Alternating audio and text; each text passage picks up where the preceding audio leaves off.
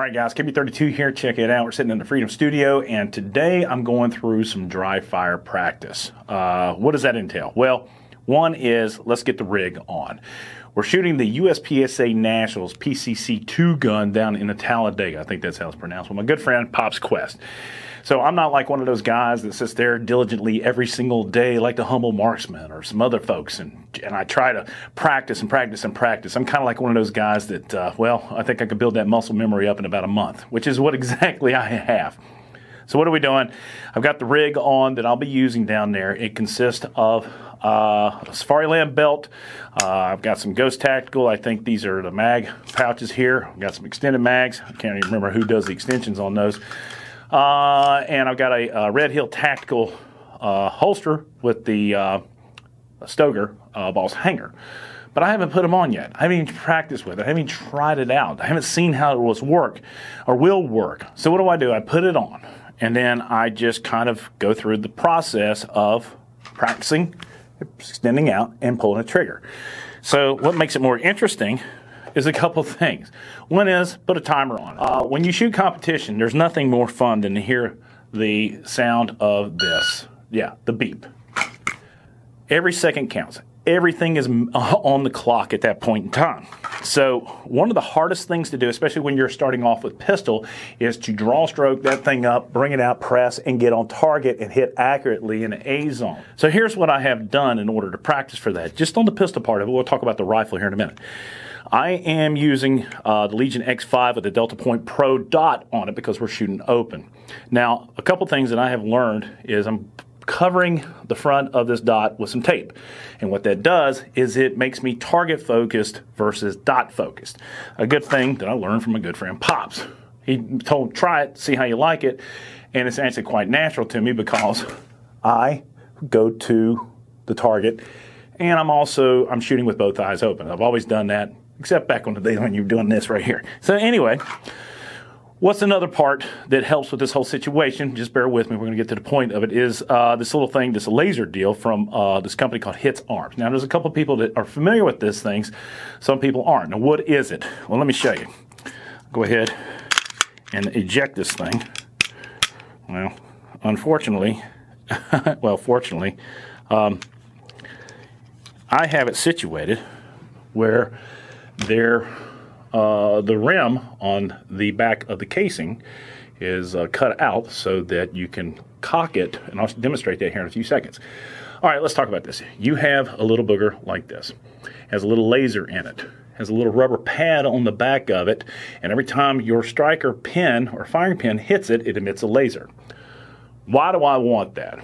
Well, there's a couple of reasons when you get up to the line and you're getting ready to shoot, when you draw and you hit that first round, a lot of times that thing you might be aiming there, but it'll hit over there. This is allowing me to see where I'm actually aiming the pistol. So a lot of times when I sit here and post smoke up everybody's ass and talk about how I am being target focused versus being dot focused, the telltale secret is this little laser showing you where it's hitting.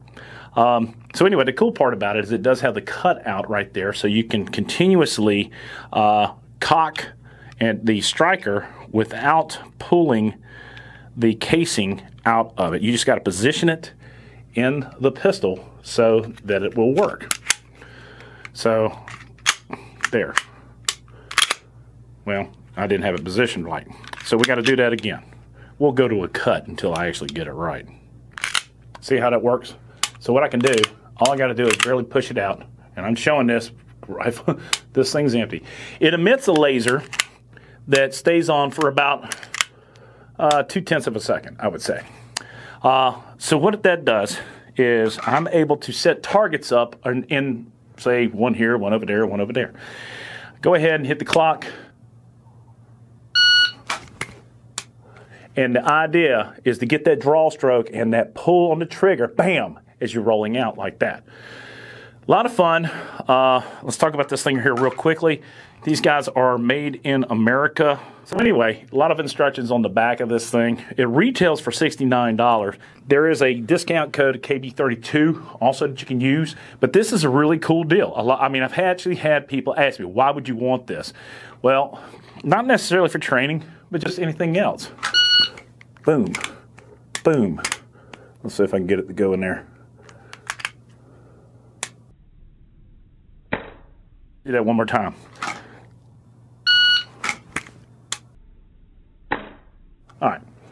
So the cool thing is I want to mate up because I can actually see the dot in the red dot and I can see the dot on the target. As long as those are matching, then I know that I'm draw stroking out and it's proper. I will tell you this, man. I've been in many a competition where I'm sitting there and when you have a dot on the pistol, that thing is just all over the place, especially if you've had to run. I'm not the greatest shape of person in the world, but this thing is perfect for training. like that. Um, another thing I want to show you just before we end. This is the PCC Elite. This is the firearm that we'll be using down there. You can use it in this guy as well. All right, uh, guys, I hope that works. I'm going to put the website down below. Hit arms. If you're wanting to train, go ahead and take a look at this thing. But uh, it is one of those things that I actually uh, dig, and it is usable. It's boom. It's even better if you don't have a dot hits arm.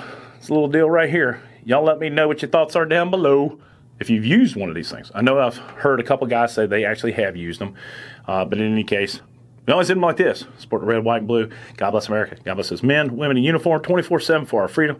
This freedom is not free. Cool little deal to come out of Miami. Kotaboy 32. If you like the video, give it a thumbs up, subscribe, and have already done so. I am out of here. Y'all be good. Boom.